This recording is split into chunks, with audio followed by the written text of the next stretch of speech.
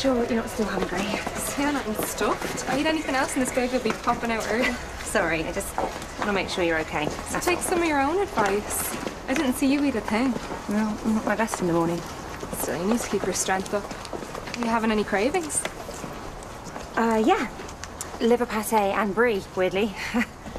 Both of those really bad for you for pregnant. you know, I don't actually eat them, obviously. Chloe, I've been meaning to ask. I've got this friend who is looking for a surrogate. Oh, sorry, this will definitely be my farewell tour.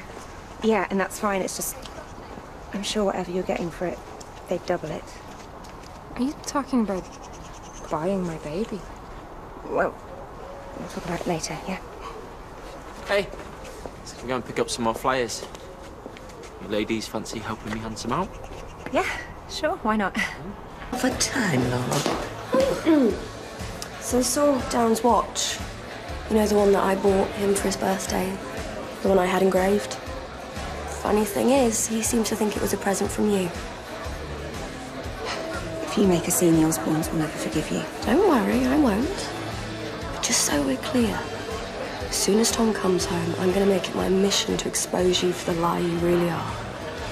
You should have got rid of me when you had the chance. Jenna, where have you been? We could have really done with your help. I um, I needed to find a costume. You need to snap at me. Calm down, Darren. It's all fine. I'm here to help. Thank you. So, how's everything going? Good, yeah. We sold out the raffle and everyone's been really generous, so. Thanks for all your help. I never thanked you for helping me get released. Meant a lot.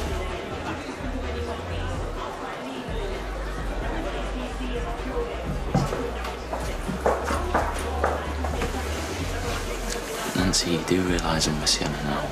You don't think that was me making a pass at you, do you? No. But you've been amazing, you know, helping sort all this out. It doesn't change anything, does it? You nearly killed our kid. Wait, Na- Nancy. Please, just let her calm down. Besides, we need you here.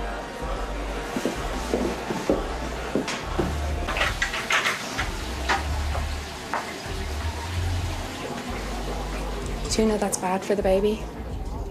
Uh, there was only a drop left, and um, you're not going to tell anyone, are you? About what? The fact that you're not really pregnant? Having a drink was stupid, but I was upset. Tell me how many fetal kicks you can expect in an hour. What? Or the exact size of your baby at your last ultrasound. If you're really pregnant, you'll know. Trick to selling a lie is to do your research first. You're not going to tell Darren, are you? I really love him. Sienna, he's going to find out. Not if you sell me your baby. I knew that story about a friend in need was rubbish. As I said this morning, my baby's not for sale. Yeah, but I've got money. It's not just about money. It's about helping a couple who can't have kids of their own. What is wrong with you? And what if they're poor? Or do you only lie back for those that can afford it? Okay. I'll cut you a deal. Really? This is my last gig, and a girl's got to eat, so five grand should cover. And then you'll give me your baby? Five grand, or I tell your fella the truth.